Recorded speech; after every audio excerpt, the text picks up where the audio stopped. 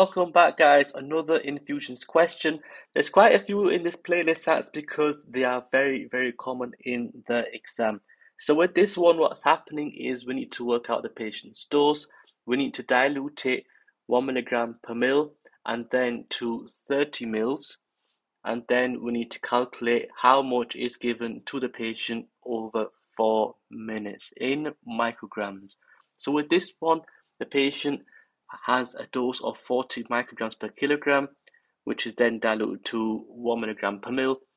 Calculate the dose first. 40 micrograms times 30 kilograms is 1200 micrograms, which is 1.2 milligrams.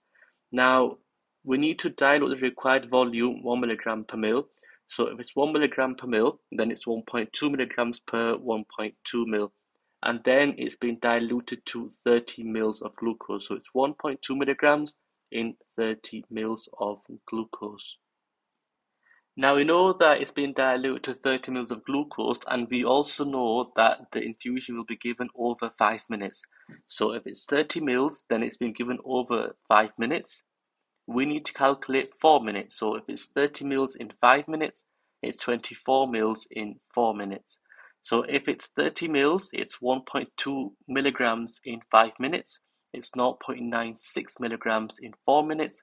0.96 milligrams, 2 micrograms times by 1000, you will get 960.